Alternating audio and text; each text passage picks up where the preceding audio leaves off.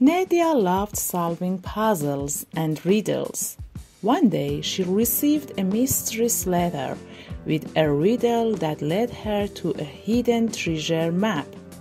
With excitement bubbling inside her, she followed the map's clues, encountering challenges along the way. Nadia crossed treacherous rivers, climbed towering mountains, and crawled through dark tunnels. Finally, she reached the spot marked on the map and dug into the earth.